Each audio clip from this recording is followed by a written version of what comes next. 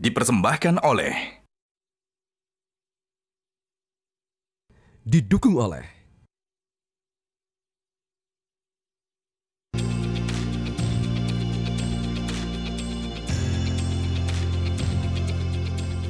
Halo pemirsa, selamat sore. Anda menyaksikan Monitor Mudik Semangat Silaturahmi. Berakhirnya cuti bersama, sudah banyak masyarakat yang kembali ke kota asal, tapi tidak sedikit yang juga belum kembali. Nah, kami merangkum informasi terkini seputar pelaksanaan arus balik yang tahun ini menjadi mudik pertama kita usai PPKM resmi dicabut. Dan liputan kami akan menjadi referensi Anda untuk mengetahui perkembangan di lapangan sehingga Anda bisa lebih maksimal dalam mempersiapkan perjalanan balik Anda.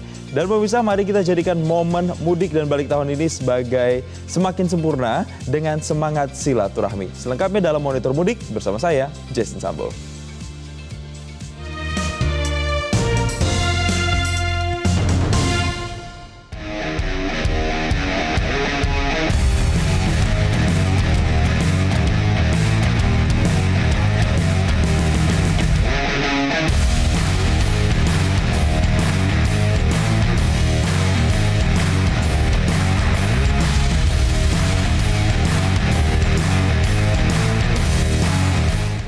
Pemirsa mulai pukul 6 hingga 10 pagi tadi hampir 4.000 kendaraan melintasi di gerbang tol Kalingkangkung menuju arah Surabaya.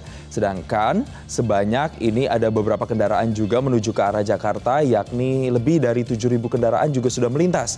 Sementara Sementara itu hari ini ada lebih dari 20 ribu kendaraan yang juga hari ini meninggalkan kita lihat ada kampung rambutan. Dan untuk puncak arus balik lebaran sendiri di sana diperkirakan terjadi pada Sabtu dan hari Minggu besok.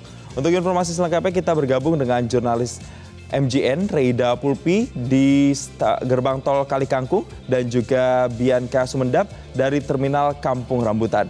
Kita ke Reida Pulpi terlebih dahulu. Reida bisa Anda gambarkan bagaimana situasi terkini sore hari ini? Iya Jason kita jaga semangat silaturahmi. Sore hari ini gerbang tol Kalikangkung masih didominasi oleh kendaraan yang menuju ke arah Jakarta. Sekitar 7.000 lebih kendaraan per 2 jam ini melintas. Ini didominasi oleh kendaraan pribadi dengan plat Jawa Barat, kemudian DKI Jakarta dan juga bus per penumpang yang kalau kami perhatikan ini memang penuh diisi oleh para penumpang yang akan menuju ke arah Jakarta.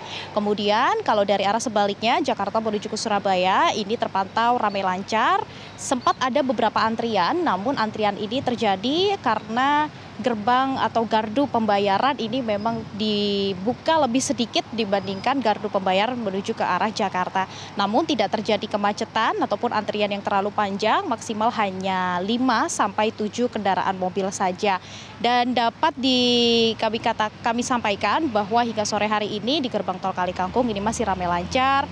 Kemudian secara keseluruhan di Kota Semarang di ruas tol lainnya seperti Semarang Solo, kemudian Semarang ABC ini juga tampaknya sudah mulai ramai namun lancar. Sehingga untuk skema one way lokal pun ini juga sama seperti one way nasional ini tidak diperlakukan pada hari ini. Kita akan melihat untuk kenaikan volume kendaraan yang dimungkinkan akan kembali melonjak kemungkinan e, nanti malam atau mungkin untuk besok pagi pada hari Sabtu dan Minggu yang diperkirakan menjadi puncak arus balik gelombang kedua pada Lebaran 2023 ini. Tentunya meskipun sudah mulai sepi, namun gardu tambahan atau gardu pembayaran tambahan ini seluruhnya diaktifkan untuk mencegah terjadinya antrian panjang, kemudian untuk petugas, personil dari jasa marga ini juga di uh, siagakan untuk membantu para pemudik maupun pengendara yang kesulitan untuk mengalami untuk melakukan transaksi. Kalau menuju ke arah Jakarta, ini memang tidak diperlukan transaksi, hanya melakukan tap in saja.